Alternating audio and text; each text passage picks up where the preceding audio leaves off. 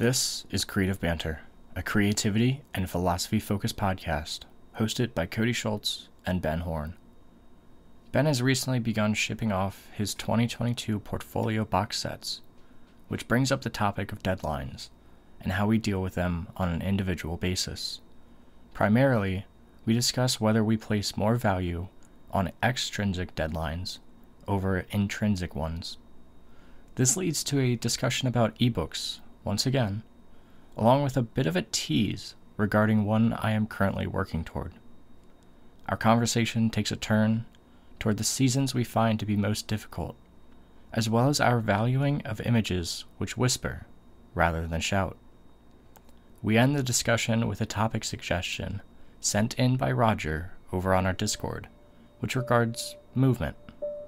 Let's dive right into it, shall we?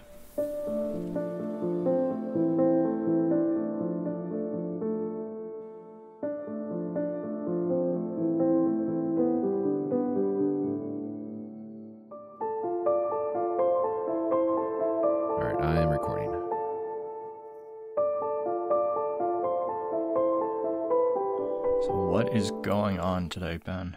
I'm in the process of preparing the pre ordered portfolios for shipping. And so, kind of going through all the, the various uh, stages of that. It's, I mean, things are coming together pretty smoothly. And I got to say, it's, it's pretty cool to have like the final product in hand um, with all the, the textures and the materials and stuff. And um, so it's just been a, a, methodical process of going through. I, on the table behind me here, I have about 40 of them that have already been um, packed, getting close to ready to ship them. Um, I'm not doing any plastic on them this year, so I'm wrapping the final portfolios in uh, like some tissue paper, and then that's going to go inside the the boxes. Okay. Uh, it's kind of like a folding mailer to ship. So I'll be doing that a little later today. But uh, but yeah, it's it's quite the process putting it together. Um, but it's it is nice to finally see that project coming to a close. Because um, I don't know about you, but I, I, find it to be very, very rewarding to finish out a project and to not have it hanging over yeah. my head. I, I I very much despise having like things looming above me, especially things that involve um, a lot of work. Yeah, that's how I felt about the ebook when I was when I was doing that. Yeah. Just there I mean there's still stuff to it that I would change and I'm not sure what exactly is going to happen with it in the future if it's going to be released or mm-hmm. whatever, but it's still one of those things of like once it's to a point where you where it's completed, you're just like, yeah, okay. Now I can move on to the next thing. Like yeah. Big weight lifted off of your shoulders. Yeah, and I have a I have a very single track mind where I I have a really difficult time working on multiple projects at once. I have a really hard time kind of shifting my focus from one thing to the next. And so as a result, I really need to like, you know, get everything off my plate for one thing before I can proceed to the next project, whatever that may be. So that's that's that's another thing too. Um, kind of like I guess that that uh, ties into that sort of that looming sense uh, of something above me because once that's out of the way, then it just allows me to focus my attention on on all the other stuff. Is, is that anything that that you can relate to at all, or or are you able to work on multiple projects at the I like same to time? think I am at least. I yeah. I know for a fact though, like it's very difficult for me to to truly get done multiple projects and to put in the proper amount of effort into each one because I know yeah. that if I'm if I'm trying to multitask, it just doesn't work out well. Um, like even when I'm doing like lesson plans for for school or whatever, I have to be completely focused on that. Otherwise, it's just gonna be, it's not gonna be my best work. Yeah. So like right now, I'm going through and working on a a real big ebook project. Um, and by real big, I mean like 120, 150 page ebook, something like that. Oh, um, wow. That, that's, a, that's a pretty big one. Yeah. So it, I'm slowly going through it, slowly putting together the pieces. And I know that if I don't give myself the time to do it, like I would love to have it released tomorrow, but Mm-hmm. I know that I have to allow myself the the few months, say a spring deadline or so, where I have I know I have enough time to do it, where I can focus on it properly throughout multiple weeks, multiple months, but at the same time have a deadline where I know I need to get it finished by because of all the other stuff that I have to try and focus on. Yeah. I really if I had nothing else to do, I could nail it down and get it done in a month but because of my other stuff and because I'm terrible with multitasking, it's not going to work out like that. Yeah. Do you find that having a self-imposed deadline works for you as well as sort of a externally imposed deadline on a project? Do, do you do you are you able to stick to your own deadlines in, in No, that sense? Not at all. Yeah. Yeah. It's it's pretty bad. I need to get better at at listening to my own deadlines because like even with my writings. So for instance, I have I have to get an article over to on landscape by about this time next month or so. Mm-hmm. and it's both an external deadline but also it's a very loose external deadline so i kind of put a deadline of like beginning of december on myself i'm like i know i should really be starting this but i think my big problem right now is i have so much other work that has to get done because of school especially and i have to do a bunch of Yeah. observation hours. I have unit plans that I have to start writing up for that count as like my finals, um, that kind of thing. So it's it's a juggling act at this point, and so my personal deadlines that I put on myself kind of keep getting pushed to the wayside in favor of external deadlines, which I think is always how it's going to happen. Yeah, yeah. I, I think one of the one of the things since um, since I'm doing the the photography thing full time now is it's basically almost completely my own self imposed deadlines. Um, but I'm I'm pretty good with them. But I, I think that's also just the way that I have everything structured. Uh, whereas, you know, you come back, you know, I'll come back from a trip and, and roughly about a month after coming back from the trip, I like to start posting the videos.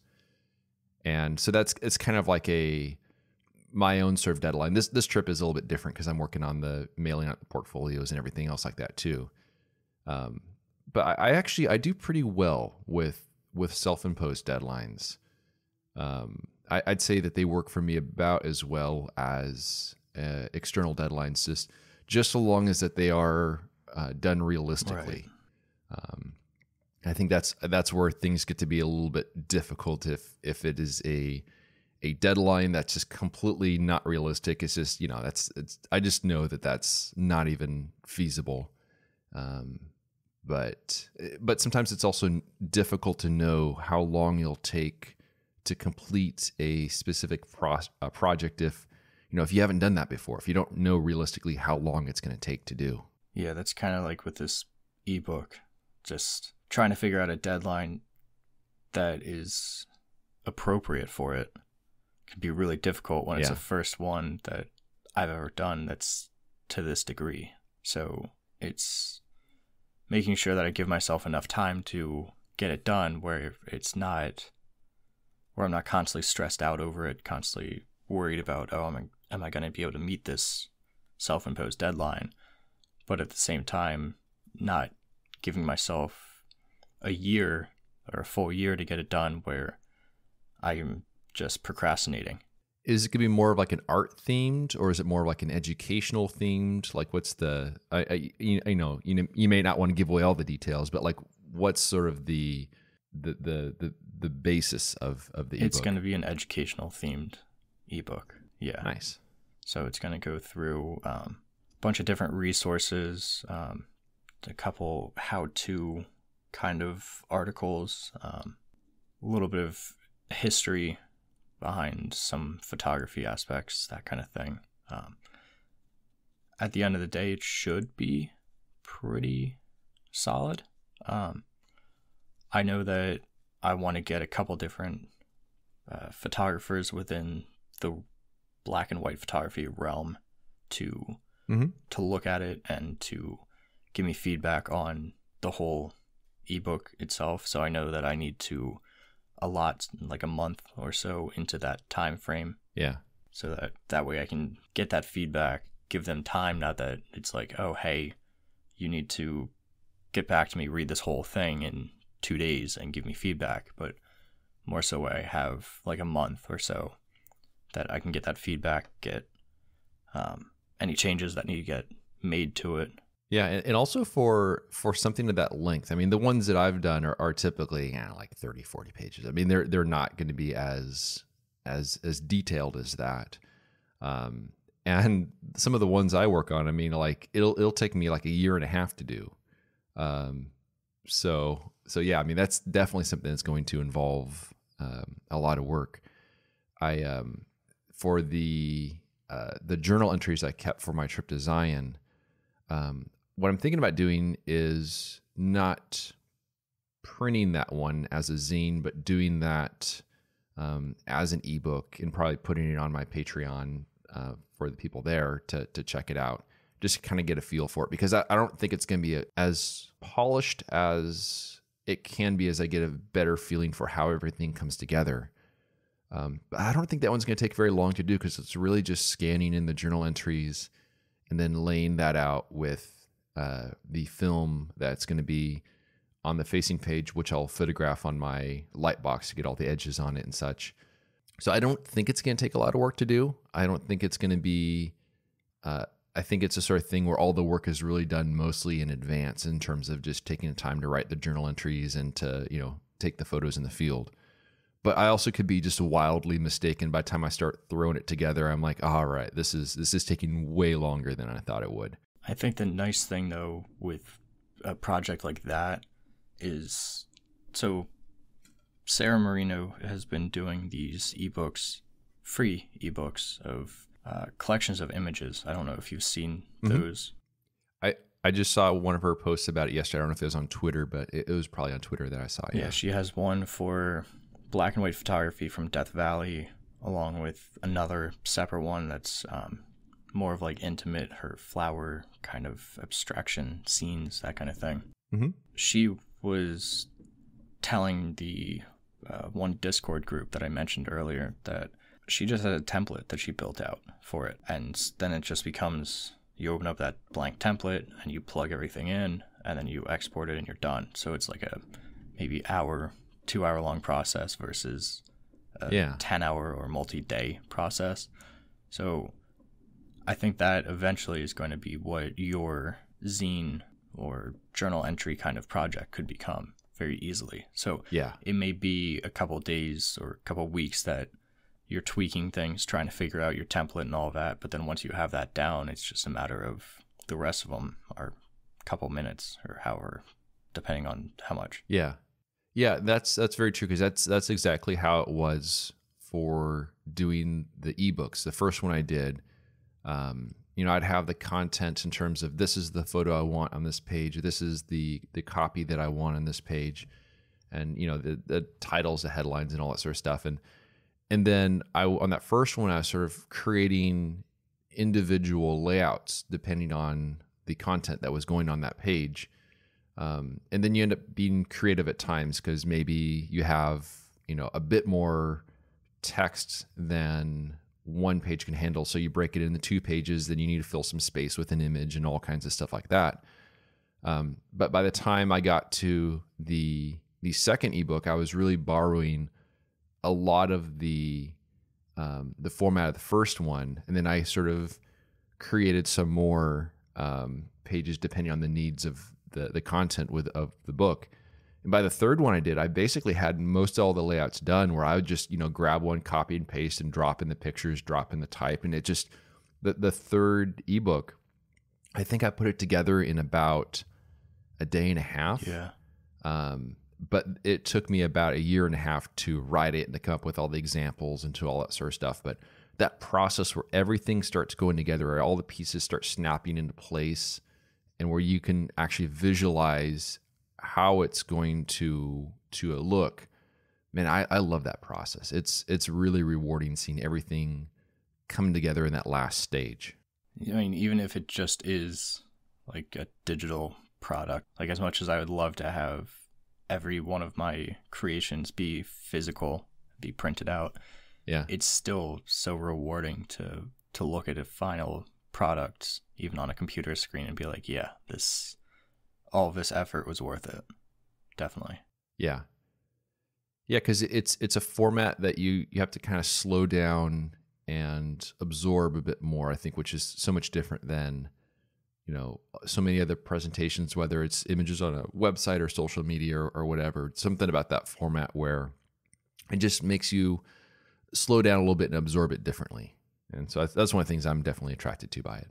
I think one of the other things that's going to help me out with mine is even though it's three or four times bigger than what yours typically are in terms of page length, I also write a lot more than you do, or at least Yeah, to the public eye, I do. yeah, So I think me being able to just rip through a couple different articles plus a lot of what I'm finding as I'm just doing basic layouts right now is Mhm. there's going to be a lot of pages where it's just of examples to show what I'm talking about rather than full on text, which is going to make Yeah. things quite a bit easier depending on how I decide on the final layout and everything. So it's still going to be a lot of work, but it's going to be very, very rewarding once it's finally put together. yeah. Looking forward to it. That is, that's for sure. Uh, so, of the uh, the various topics that we've come up, um, we so basically for the people listening, which is everyone listening, really. Um, I, I guess unless you're not people, maybe there's a dog listening somewhere. Um, but this, you know, they should pay attention to this too. Uh, so we have this this Google Docs where basically we put di- different topics on there, and so there's been one on there for uh, a little while now, which I think is probably a good time to to get to it now. Which I wrote this down back. I don't know. It was probably in the the springtime when I when I wrote this down, and it is difficult seasons to photograph. And I wrote that down because for me, summer is difficult. Spring is a little bit difficult. If you look at the trips I go on, I'm very productive during the winter. I'm very productive during the fall. But spring and summer are are tough ones for me. Probably somewhat because of the locations that I that I tend to visit. Uh, but I'd be curious to hear your thoughts on that. It was in May that you had written that down. There you go. I, I, I figured it was after coming back from my spring trip where I got one photo I liked. Yeah, May 18th at 4:05 p.m. Well, that's my time, so probably like 1:05 p.m. your time, something Yeah. around there. That that's probably right after I got my uh, my film back from the lab. I'm looking at. it, I'm like, oh man, the spring is rough. The spring is tough. Yeah, Yeah, for me, I think my most difficult season is winter. As weird as that seems, because there's like that's when you tend to have a decent bit of separation in the woodlands for when you actually get snowfall and all that. mm-hmm. But my big thing, like right now, we're going into the grips of winter. It's like 40 degrees outside right now. It's windy and cold. We have flurries here and there throughout the week already.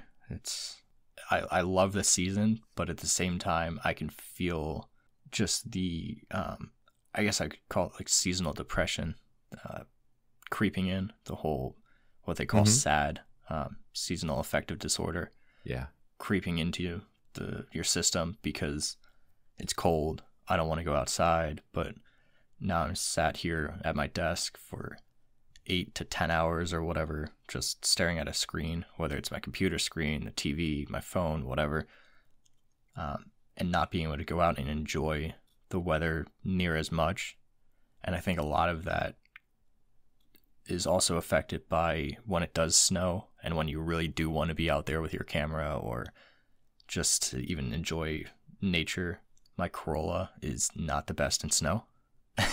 Oh, that's definitely gonna be a limiting factor in terms of just sheer accessibility for yeah. sure. So now it makes one of those things of, oh yeah, I could go out today. They're calling for snow. I could get stuck into a blizzard an hour and a half away. and be stuck there for a day, depending on Yeah. the conditions around there and all of that. I mean, already going to going to classes on luckily it's just every Tuesday night, but in the past when I've gone to classes, it's a 40 minute drive and then I'll come back home. It may take me an hour and a half during a bad snowstorm because people don't know how to drive in the snow, even in Pennsylvania. And Yeah. so everything gets backed up and back roads are always hectic. And then I get to my driveway and my driveway is quite long and steep. So my car doesn't like to try and make it up that. Yeah. so I'll have I'll have to get my dad to uh, come down to the bottom of the driveway with a tractor and a and a thick quilt, and he helps push me up the driveway. It's a whole ordeal. So Wow. yeah. So it's it's one of those seasons where I'm just like, I really want to enjoy it, and I try to enjoy it as much as I can. But if you look at my portfolio, there's like no winter scenes because of that reason. So there's Yeah. There's a lot of factors going into it, and I think that's why it contributes to being my most difficult season. I mean, from a photographic standpoint, yeah, it can be great because, like I said, of that separation, but you also have those same difficulties as you do in winter, or as in summer rather, where it's just a little bit the opposite. So in summer, you have everything's green, everything's lush. It's hard to get those tonal separations, and Mm-hmm.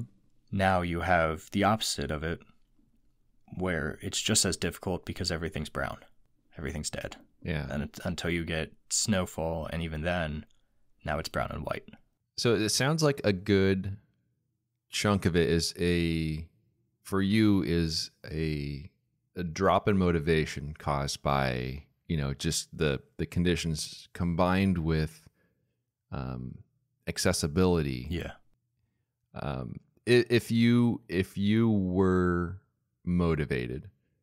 And if you did have accessibility, do you think the subjects that you would find during the wintertime would be worth the effort? Or do you feel like the subjects just aren't quite as as good as the other times of the year when you prefer shooting?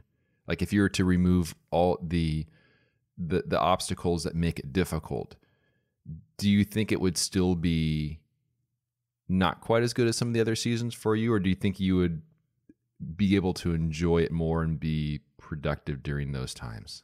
I'd definitely still be able to be productive. It's it is strictly an accessibility standpoint and motivational standpoint yeah. um, more so on the accessibility side. If i had like a yeah. something that was all-wheel drive or four-wheel drive where I didn't have to worry so much about getting like stuck, not being able to get home or whatever, um, yeah then things would be considerably easier, and I'd definitely get out a lot more. At the end of the day, the entire it, looking at it from a photographic standpoint, the entire year is can be deemed a, a difficult season, especially if you look at my output compared to a lot of other photographers, especially those using digital and shooting in color. mm-hmm I mean, this entire year, I don't think I've released a single image that I've taken yet. I have some in the backlog that I'm still working through and plan to release, but I may release five images this year, 10 at the most. And to a lot of people, like, I look at Matt Payne and I see his releases from a trip that he just did in October that he just went through and edited. yeah there was some beautiful stuff in that one for Oh, sure yeah. i looked at that i'm like oh man that's some They're good stuff. absolutely beautiful. But then you look at it and you're like, how are you doing this? Like, how are you coming away with 40, 50, 60 beautiful images when I'm going out and I'm taking like one for a month kind of deal as, an average? yeah So, yeah, I, I, I Yeah. definitely think it's an accessibility standpoint, but it, and my output still wouldn't really change, though, I don't think. Now, do you think that digital photographers who are able to capture a large volume of, you know, really solid images, I- wonder what their perspective is looking at a photographer that produces just a handful of images each year. And they might be you know, pretty good images, you know, really good solid images. But if, if they, I, I'm curious what their perspective is, whether it, there's a grass is greener sort of thing going on where they're like, man, this person took eight photos this year and they're all very good. You know, is, is I wonder if they're like, man, I had to take, you know, 2000 photos to get, you know, 50 that are good. And this person took eight and they're all good. You know, I, I kind of wonder what the feeling is from the other side looking towards those that don't take many photos. Yeah, I'd be curious to hear what people listening think about that because I know that when I was shooting digital, I was photographing quite a bit more. I was coming away with 50 to 100 photographs in just a day trip versus now I come away with maybe one, if any at all. Yeah. And out of those 50 to 100 or however many, my keeper rate was the same as what it is now. Maybe one, maybe two, maybe none. If anything, it just made me more disciplined and it definitely helped me to uh, get a better grip on what it is I enjoy photographing, what subjects I actually want to go after, what feelings and emotions I want to try and convey. Yeah, I'd be curious if you have, for those listening, if you have any thoughts on dogs included. Yes, dogs included. if you have a fish, if let the fish try and type out their thoughts, um, as long as they don't lose them too quick. yeah.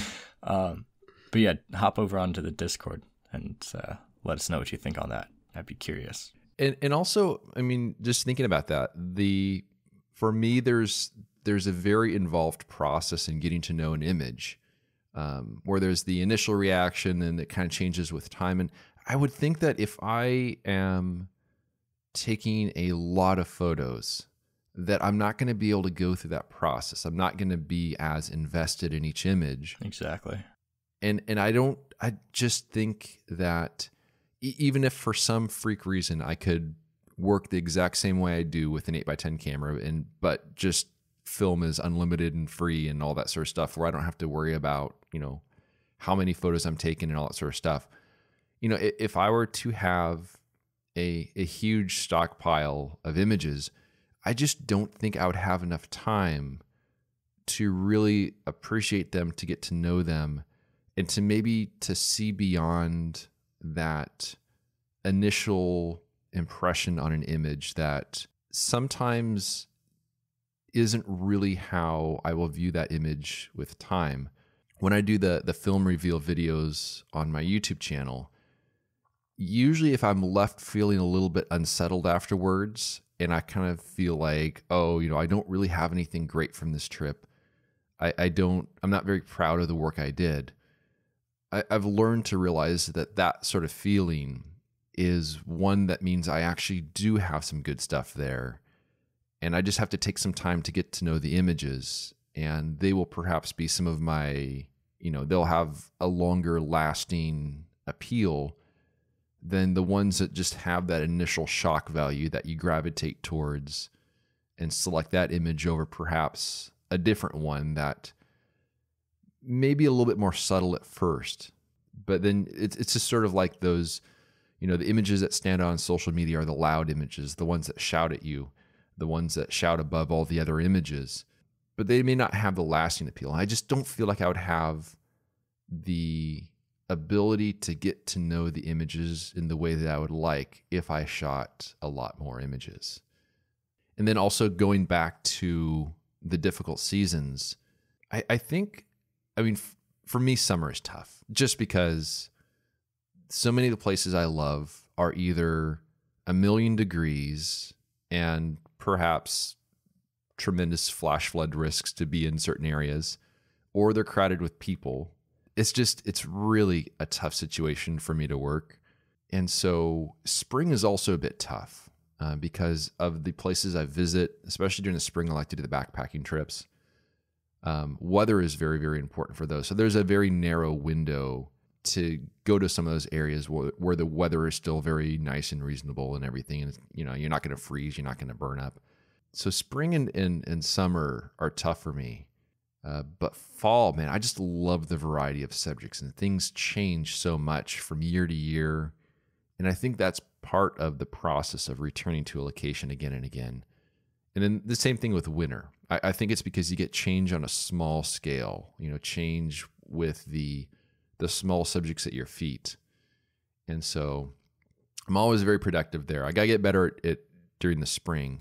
But, but, yeah, summer is a tough one. That's the toughest one for me, at least in, in the areas where I photograph. Yeah, I mean, summer for summer and spring are probably my most productive because the weather's starting to get warmer. so I'm I'm complete opposite yeah. from you. Um, but the yeah. weather's getting starting to get warmer, especially in spring. You have all of like the the flowers and everything that starts to bloom. So you start to the the wood starts to really come back to life, start to open back up again and you have all these different little subjects that you can photograph. The the ferns start coming back and look just brilliant, especially after a, a light rain.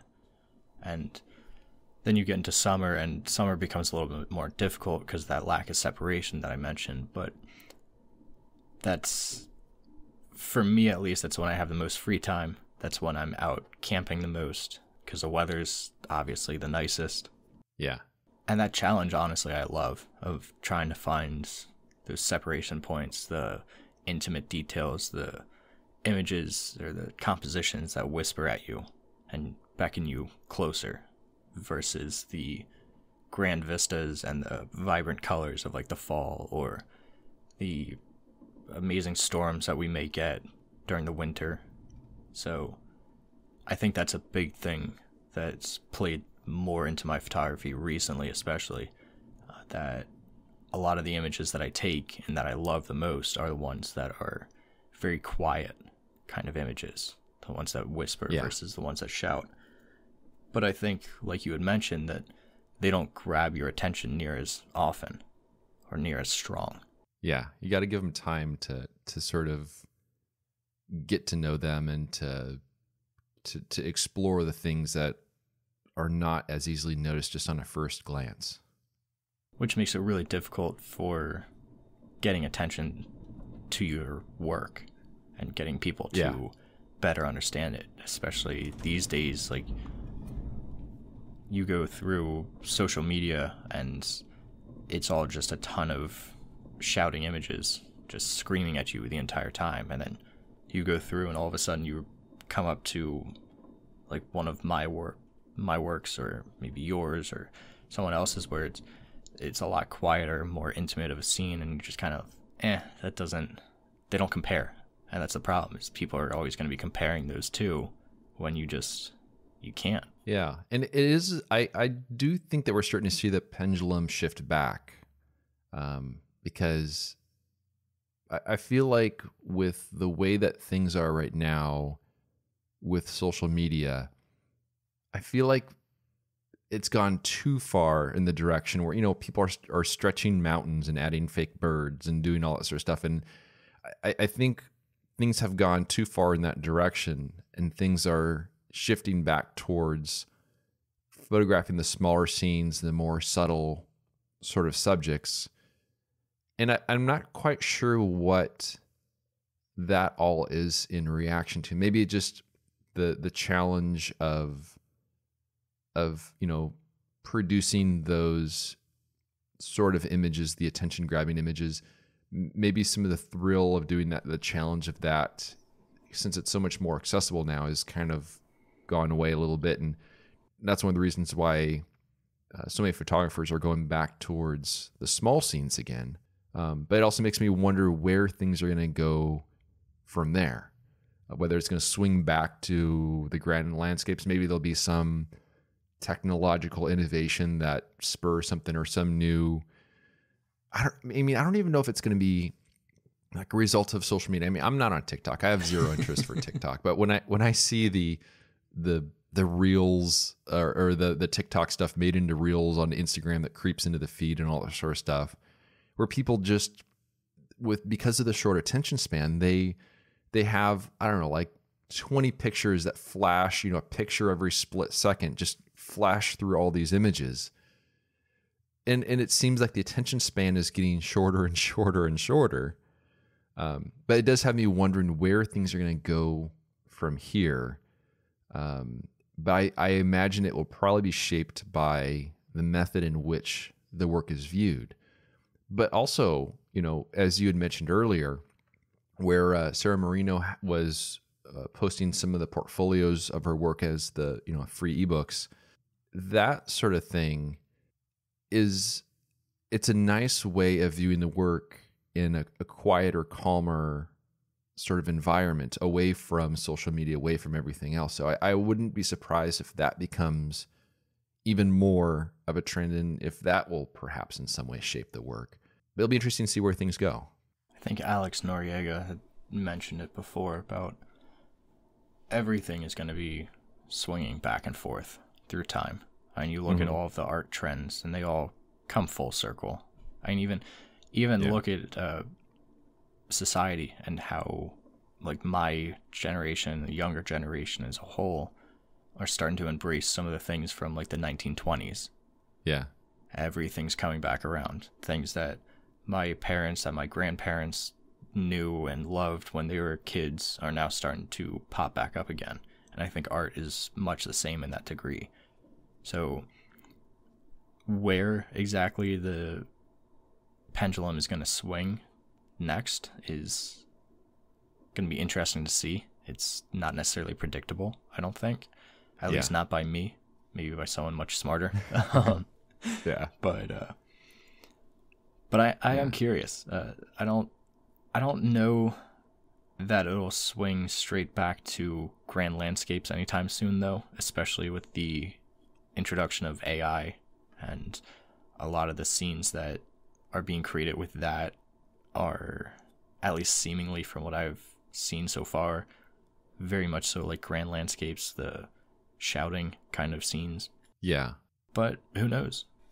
So speaking of of movements and of of change we nice have transition. a uh, I know right? I was working on that one for a while. Um I have a uh on for over from on our discord there is a, a topic suggestion from roger and he says how about movement yeah, we have smoothed out water and maybe clouds as a convention in much landscape photography, but few people use movement as a subject. Why is the movement of a branch always considered to ruin a shot and so rarely used as a device in a still? And so what what are your thoughts on on on movement as a subject? I try to embrace it when I can and when it fits the image. So I know for from seeing your videos and seeing you work in the field that a lot of the times you are waiting for the wind to die down so that you yeah. don't have a ton of movement. I mean, your book is what between the wind or Yeah, exactly. Yeah. So uh I'm kind of I let the image tell me what it needs more than anything else. So for instance, I was out couple weeks ago, maybe two weeks ago, went down to a local park and um, I saw this scene of a white tree up against a bunch of brown uh, trees in the background with um, some wheat or long field grass in the front in the foreground mm-hmm. there. And it was decently windy. I had a choice at that point. I could have waited for that wind to die down and used a shutter speed that was fast enough to freeze all motion, or I could have embraced that motion that was already happening. And I chose to embrace it. Now mm-hmm. I I can't speak for the image because I haven't developed it yet, but that's kind of how I play with most of my images. Is I will just let the composition tell me what it needs more than anything else. So I'm not necessarily against having a moving branch or something unless it becomes a distraction. If it's if that is the only thing moving in the scene, then yeah, it can ruin it. Yeah. But if there's enough motion in the scene that it helps it instead, then I have no issues with it. Yeah, for me, it's all about it being intentional. Um, from the standpoint that in, in a lot of the areas where I photograph, if there's a little bit of a breeze, And if there's a little bit of movement on, let's say, like the branch of a maple or a box elder or, or some sort of tree, if there's just a little bit of movement, it becomes a distraction and it doesn't look intentional. It looks like a mistake as opposed to a creative decision. When I went on my recent fall trip, there was one day where there was a little bit of wind, um, not a lot, but there was a little bit of wind. And there was this really beautiful maple that I wanted to photograph. And so I had set up my camera. I was using a long lens just to fill the frame with all the the branch structure and the leaves. It was like this really beautiful sort of reddish orange color. And ultimately the the window for light coincided with when there were some clouds going over. And when the clouds go over, the light gets really flat. Um, and also wind came with the clouds as well, but it wasn't a lot of wind. It's just a little bit of wind. So I was thinking I should wait for a sizable gust of wind. And even though the light's not amazing right now, I'll trigger the shutter when, you know, if I can get the shutter speed down to like a, a second or so, or, you know, some somewhere where this whole tree is just moving like crazy in the wind.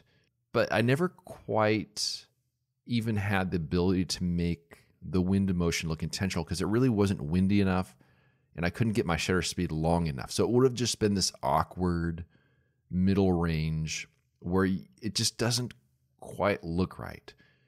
Um, so, from my standpoint, if I'm going to show movement, I want it to be a lot of movement. I want it to be very intentional looking, and I want it to contribute positively to the image. But most of the time the sort of movement that i see in the subjects when i do have a photo with and without movement i pretty much always reach for the one without movement because it portrays a sense of still and it portrays a sense of calm which is really more representative of the subject when i was standing there. Um, and so and, and also this isn't to say that all of my photos are free of wind there's there's some photos i've taken especially on backpacking trips where there's a little bit of wind and that's fine. But just so long as it it contributes positively to the image as opposed to looking just like a distraction. Um, so that's that's kind of where i come from for that. I really do need, need to carry my nd filters a little bit more in the field um, so i can stretch out those exposure times uh, if I had those on that day um, in Zion on my past trip, I probably could have uh, taken a kind of a cool photo with the the movement of the branches in the wind. Um, the other thing too is that with film, you know, I can't just take a bunch of photos and see which one looks best and experiment with different shutter speeds. You kind of just get the opportunity to take one or two, and it doesn't lead to a lot of experimenting in terms of what shutter speeds can give their best movement and knowing if you got that. So it also gets kind of expensive. So that's that's kind of where I come from that, where it, oftentimes just comes off looking like a mistake as opposed to a, a something that's intentional. Yeah, thinking on that shutter speed aspect and ND filters, I could not imagine using those for most of my photography anymore. I used to use a uh, a 10 stop ND, especially for waterfalls mm-hmm. and such.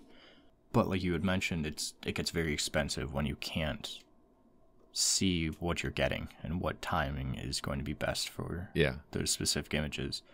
So you're kind of whenever I'm photographing a waterfall these days, I'm kind of leaving it up to fate. Like, okay, this is going to expose my shadows where I want them, put my highlights where I want them.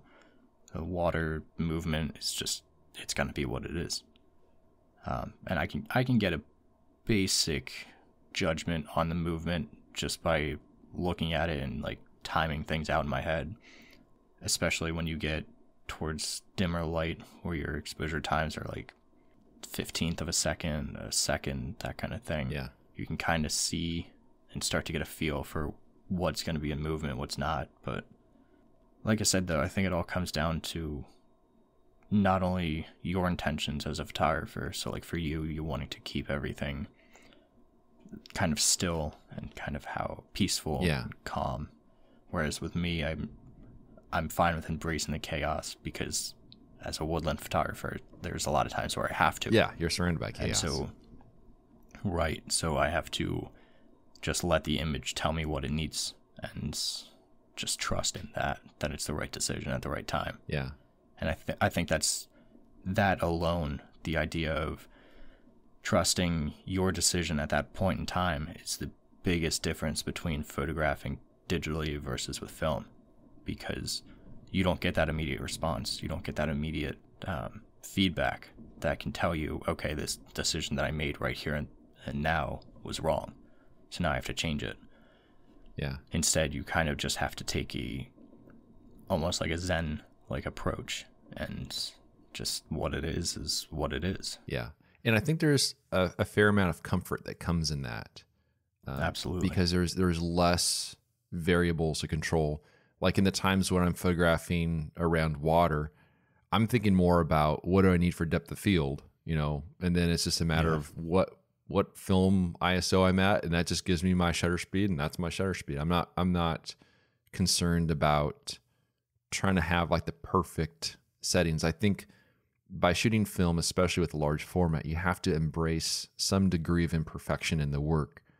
But I think that's also what makes it oftentimes feel more real. Um, that little little bit of unpolishedness, which it which just gives it that extra little bit of a sense of reality. And, and I, I do enjoy that part of it. I hope you enjoyed our creative banter. You can learn more about Cody's work by visiting his website, codyschultz.com. And you can find my work at benhorne.com. For further discussion, join us at patreon.com slash creative banter. It's a place where we can interact with you, the listener. And although we greatly appreciate those who contribute by joining a tier, discussions are open to everyone, whether you're a paying member or not. Thanks so much for listening, and we'll see you around next time.